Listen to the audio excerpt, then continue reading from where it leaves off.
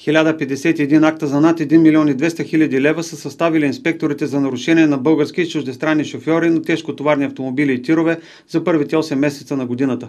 Мога да с задоволство да кажа, че от тези 1 милион 263 хиляди ние имаме реално събрани 1 милион лева към момента. Това са пари, които са влезли по сметките на Изпълнителна агенция автомобилна администрация, минали през офиса долу. Сега става въпрос за това, че а, 1 милион лева събрани, това означава, че от тези около 1000 акта най-малко 900 са на международни шофьори.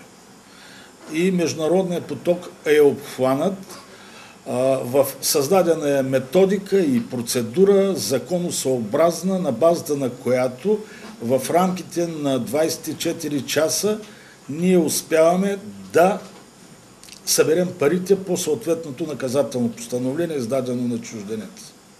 700 пункта за технически прегледи в цялата страна ще бъдат оборудвани с камери, които ще следят за дейността на диагностичните центрове. И ми се струва, че процентът за минаване на коли на преглед без да присъстват в пунктовете за технически прегледи почти няма да се случва. И най-напосле вече по-спокойно, няма да играем на мишка и котка, да гоним постоянно пунктовете. Има ли такива случаи или няма да ходим да ги доказваме и така нататък. До септември са направени 12 инспекция на автогари за условията за транспорт на пътници.